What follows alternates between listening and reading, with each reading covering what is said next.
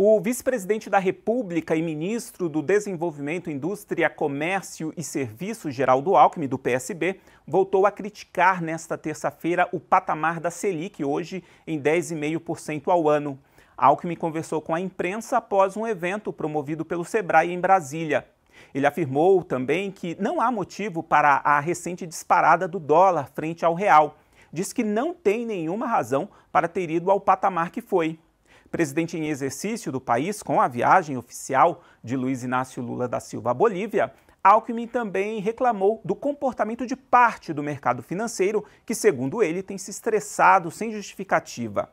E ainda explicou que, dos três fatores que devem ser observados, ou seja, risco Brasil, inflação e taxa de desemprego, os três caíram. A inflação está abaixo de 4%, o que cresceu foram o emprego, a renda e o PIB, lembrou.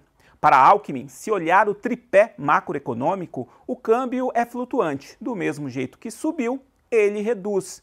E ele, Alckmin, acredita que vai cair mais.